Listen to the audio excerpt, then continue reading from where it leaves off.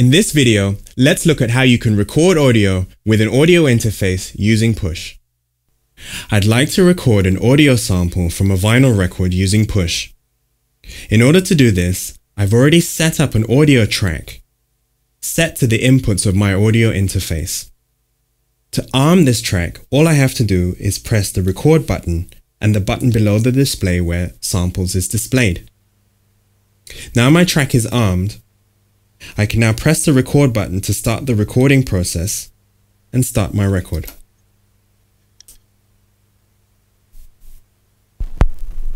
By pressing the clip button, I have an automatic display of the waveform as it's being recorded.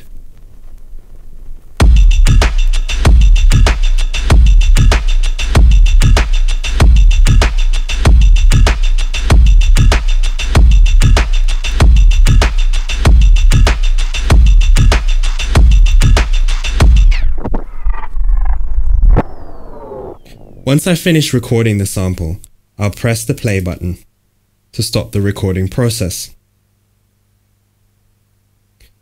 Now I've recorded the sample with a large amount of silence at the beginning, so I'd like to edit it. In order to do this, I'll edit it in the Simpler device. I'll press the convert button and convert this sample to a Simpler. Once in the Simpler, I can now press the device mode and start to edit the start and end points of my sample.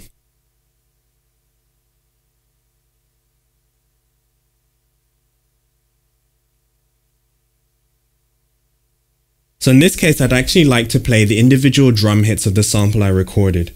So I'm going to switch the mode from classic to slicing and then maybe adjust the sensitivity of the slices so that I have a nice number of playable sounds that I can now reuse.